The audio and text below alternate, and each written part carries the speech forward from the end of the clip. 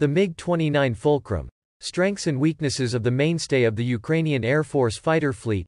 With the news of the EU intending to donate old MiG-29s and Su-25s of different NATO air forces to Ukraine, we believe a review and analysis of the MiG-29, NATO codename Fulcrum, is in order here.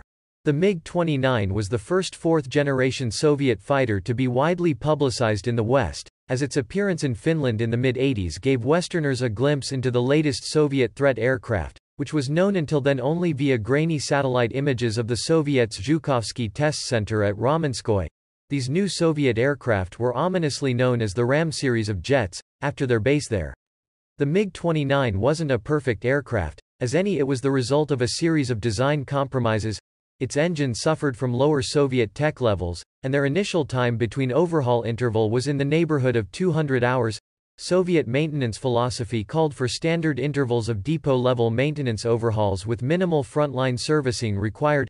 Range and endurance were short, with two fuel-hungry turbofans limiting such to under an hour. Soviet air defense doctrine also hampered effectiveness, as the Soviet air defense philosophy called for strict ground control rather than individual pilot initiative. Aircraft were vectored onto target from the ground.